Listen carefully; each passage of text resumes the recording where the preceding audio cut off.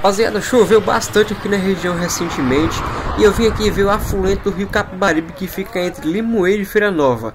É comum que quando chove muito na região, é, esta ponte aqui vem a transbordar. Depois de uma ou duas horas que eu saí daí, eu fiquei sabendo que a ponte transbordou, rapaziada.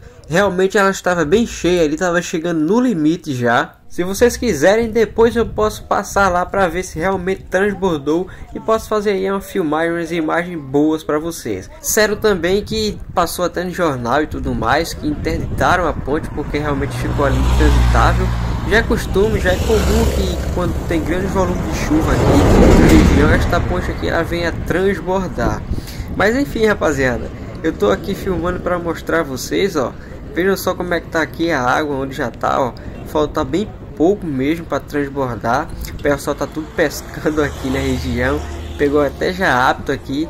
Virou até um ponto turístico. Aqui temos uma alga, ó como é bonitinha. Parece até uns tentáculos de um peixe, na é verdade. Eu achei bem bonitinho. E veja aqui agora essa vista, esse monte aqui, ó. Que coisa mais linda, rapaziada, ó. Muito verde, muita árvore paisagem muito linda, muito bonito tudo isso aqui, rapaziada. É essa água aqui que abastece aqui toda a região. Feira Nova, Limoeiro, Glória do Goitá, todos os municípios captam água deste afluente aqui do Rio Capibaribe para abastecer aí a sua população. Então é isso, rapaziada. Valeu, tamo junto, fui!